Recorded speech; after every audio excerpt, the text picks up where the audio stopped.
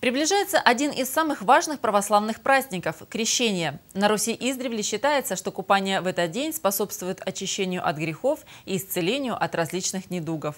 В Славянском районе окунуться в крещенскую воду можно будет в двух специально оборудованных местах. 18 января в хуторе Прикубанском на берегу реки Кубань около моста в 10 часов утра начнется праздничная литургия. С 11 часов водосвятие. Крещенская купель будет специально оборудована, украшена красочной иллюминацией, будут сделаны удобные раздевалки. Всем гостям предложат горячий чай, мед, публики. Организовано дежурство спасателей и медиков. Крещенские купания в Прикубанском Кубанском продлятся до 17 часов 19 января. В поселке Забойском окунуться в крещенскую воду можно будет также 19 января с 11 часов до 13 часов дня. Место для купания будет оборудовано на берегу реки по улице Центральной. Уважаемые жители Славянского района, во избежание несчастных случаев не допускайте никаких стихийных купаний на крещение. Совершайте их только в указанных местах. И если есть проблемы со здоровьем, то лучше не испытывать свой организм на